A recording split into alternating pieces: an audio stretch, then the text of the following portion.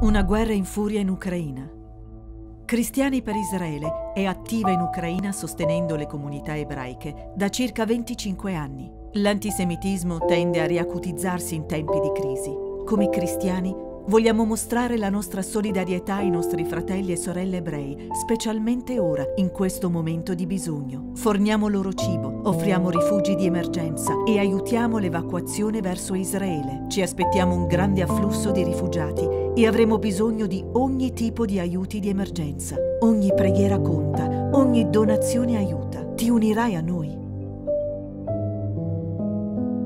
Sostieni la nostra campagna di emergenza oggi stesso con la tua donazione.